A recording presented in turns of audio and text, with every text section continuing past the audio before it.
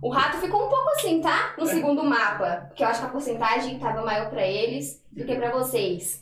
Tô te. Não, mas a gente nunca nem treinou esse mapa. Sério? É, então, é, então, é a primeira vez. A primeira vez que esse aqui joga o é mapa. Ele nem jogava o mapa. A time antiga não jogava. Aí- vocês A gente não teve tempo de treinar, porque ele entrou. Tem segunda-feira, a gente treinou poucos mapas, a Overpass a gente nunca nem tinha treinado. Foi a É, primeira a vez. galera tava perguntando.